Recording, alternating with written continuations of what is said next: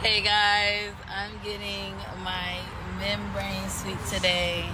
This is the first step before we do induction because it's big. Okay? Like belly, belly, belly, belly. so I'm just take y'all with me. Hi.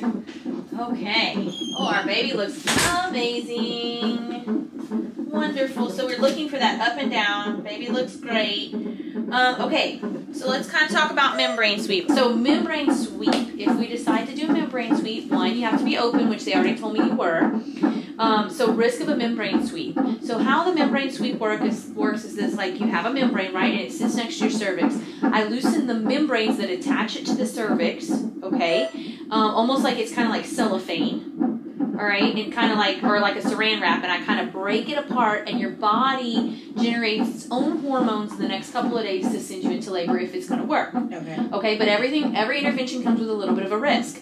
So one is bleeding, right? Because I'm manipulating your cervix. You're, you might have some spotting today that should turn brown and go away. Okay. Okay, it keeps contractions keep coming. You have bright red bleeding. You go to the hospital for that. Okay. Um, there is a small risk because it's like saran wrap that I could weaken the bag that is around the baby, okay, and the water could break and the contractions not come right away. Okay, after a certain period of time, and we discussed that, if the contractions hadn't come, there's a risk of infection with that. In general, just doing an exam, there's a small risk of infection, okay? So benefits. Your body naturally goes into labor on its own, okay? Minimal intervention that we have to go forth with an induction. So, and inductions come with their own risk, right? We've talked about that already. So, um, but that's the benefit of letting your body. Now, this wouldn't be the only thing I'd like you to do. You'd monitor the baby's movements after I do it. The baby should move a certain period of time in two hours, 10 times in two hours. Okay, so you'd monitor that. Maybe have a little. Okay, and that'd be the last thing you do before you go to bed. Okay, so the sperm could sit next to your cervix. Okay. If it's gonna work, probably by Thursday morning, maybe. If it doesn't work, it's okay too.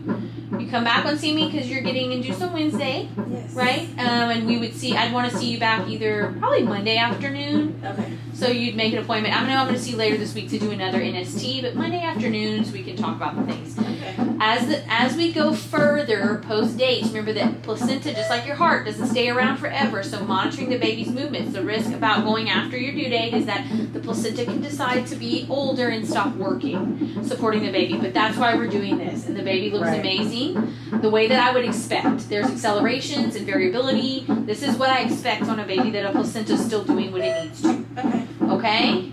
Okay. All right.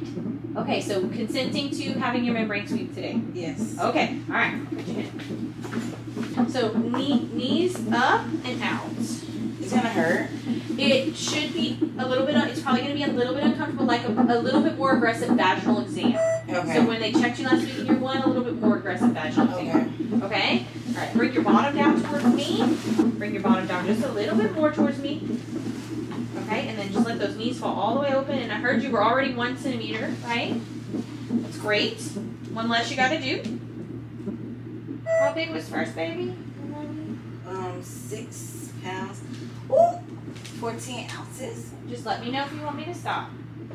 Okay, so the cervix is still a little bit behind the baby's head, and it can also be the way you're sitting. So the hand that has the one, I'm going to bring your head down just a little bit. Okay. The hand that has this in it, can you make a fist and put it under your back like this? It's okay. I'll, I'll let, let this go for a second. Okay, yeah, just make a fist. Uh-huh. Yeah, to bring that cervix forward just a little bit. Okay.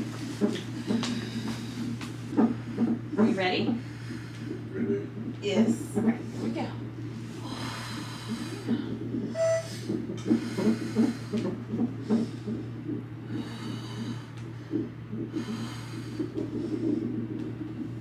Have a little bit of time, a little bit of work left in the next couple of days. Relax for just one second. I know you're doing amazing. I'm just gonna kind of see how this baby feels. Kind of in a a wonky little position here. And the baby is anyway. Okay. I'm gonna strip now. Five, four, three, two, and one. Okay. All right. Okay. You did great. You're a nice two centimeters. That's two less you gotta do.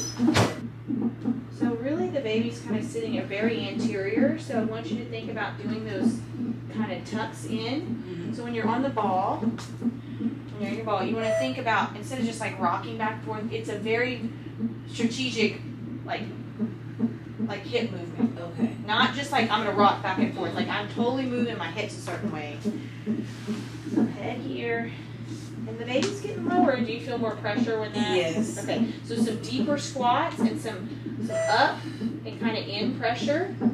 Okay. So gentle, some like pelvic tilt, some gentle up and in to kind of help that baby do some rotation. I think we just need a little bit of rotation here.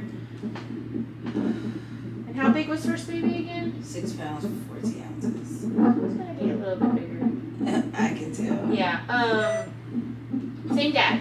Yes. Okay. This is gonna be a little bit of bigger. This baby's bigger. I don't think very much bigger, but bigger.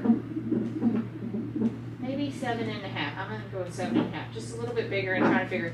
So, you okay? That was sit up. Okay, but two. That's one more. I'm positive about this. I'm happy about this. Yeah, I'm happy too. Yes, so two, you are still a little thick, but that's all right. We're making our way and soft. So all the things. Making away from You are mad. okay, um, we can take you off the monitor too. So baby looks great. Monitoring the movements. Remember, a little spotting, some cramping today is going to be a little normal too. Okay. Okay, you feel like your water's broken? Put a pad on, mark the time, gather your things, head to the hospital. Okay. It's red or green if the water breaks. That's quickly put a pad on, quickly head to the hospital. Monitoring red or babies. green. Red or green, yes. Okay. Okay. Uh, if it's like dark red brown. Anything but clear Okay. to the hospital. Okay. Okay? So if it's clear, put a pad on, monitor the movements, get your stuff together, try to be there within like 20, 30 minutes. Okay? But if it's red or green, daddy, I'll just get you things. You can go back later and get you. We want to make check on baby, okay? Okay. All right. Okay, my friend. All right. All you gotta do is finish drawing this human. Okay. Go do your your stuff. Your your friend that's the doula. Tell her that the baby's sitting anteriorly, Okay. and then I gave you some like hip tucks to do Okay. and like a lift and tuck, and ask her for some advice too. Just tell her the baby's just kind of in a little bit of a higher position, trying to rotate around. Okay. Okay. Okay, and not watch for labor. That's the biggest thing. Patience is the intervention that we have the hardest time doing. Patient. Patience. Oh no, I'm patiently waiting. Oh, but this baby is definitely a little bit bigger than the last baby. I'm going. I'm definitely going seven five. Seven five. Yeah, that's not so much bigger. It's a half a pound. It's not so much. He was big to me. Shucks. I know My you're little little. body. Yep, you're little. So, okay, all right, a whole human. All right, baby looks great. Great. You were having a few little contractions, just a little. I know. I feel like I was having some last night. Actually. A little bit. Okay, so things are happening. I mean, you're two. What's that for? I get to keep it. No, I'm gonna put it in your chart. Oh, You can keep it in your chart. No, that's great. It'll be there anytime you want it. It'll be in your chart anytime you want it. You can pull it I up. love souvenir. Yeah, you can pull it up anytime you want it. Okay. Okay. All right, my friend. Thank you. Okay, you can put your bottoms on. If you have any other questions, let me know. All right. Okay, Thank you. Daddy, take her out on a date. Make her feel loved. Look, I'll just, I'll just ask her. Before It's we the came same in. Yeah. hormone that sends you into labor. Oh, It's the same one that makes you feel loved. Bye, guys. Bye. There you have it. It actually kind of was painful. Wait. So when we left the office, I ended up going to get some food. I was hungry. We had to drop some stuff off at Goodwill and things like that as well. So um, we made it home. It was around like three, four o'clock. I ate and then I went to sleep. Um, I do feel like I have been experiencing some contractions. Um, but as I was getting in the shower tonight, you know, I used the restroom and I was wiping and I saw that my mucus plug came out. I'm literally finna get in the shower right now. Oh my gosh. Oh my gosh. In my last pregnancy, I didn't have that experience because I just was induced. So seeing what that looked like was like, okay, be go time anytime now. like I said, I've been feeling contractions and I did not feel that in the first pregnancy either. So I'm really excited.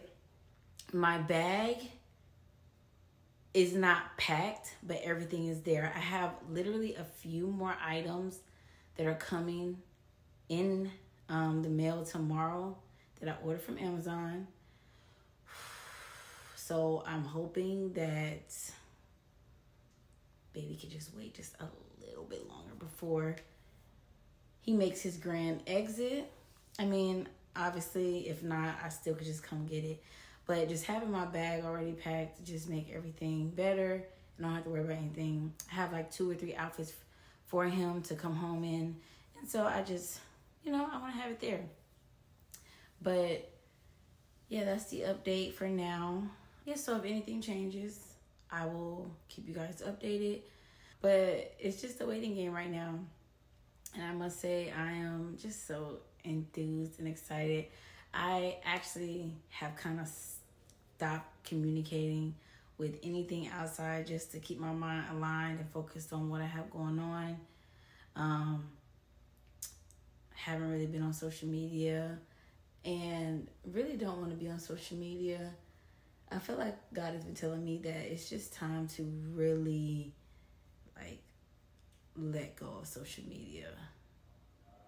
Um in the way of just like scrolling and things like that. I don't think that it's for me at least right now in my life. Um and it's time to just restructure how I utilize it.